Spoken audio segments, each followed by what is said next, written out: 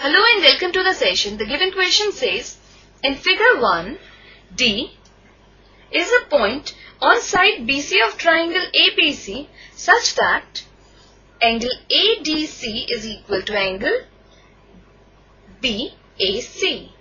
Prove that CA divided by CD is equal to CB divided by CA.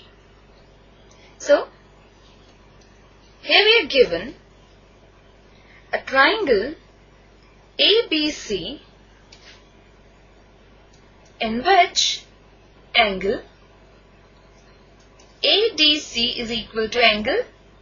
BAC where D is a point on the side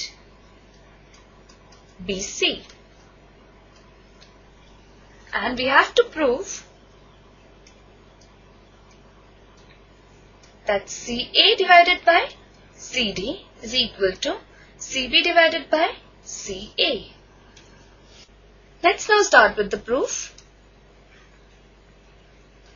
Now in triangle A, CD and triangle DAC, we are given that angle ADC is equal to angle BAC and angle C is equal to angle C which is in both the triangles and is common therefore angle C is equal to angle C. So by AA similarity we can say that triangle ADC is similar to triangle BAC. And this implies that CA divided by CD is equal to CB divided by CA.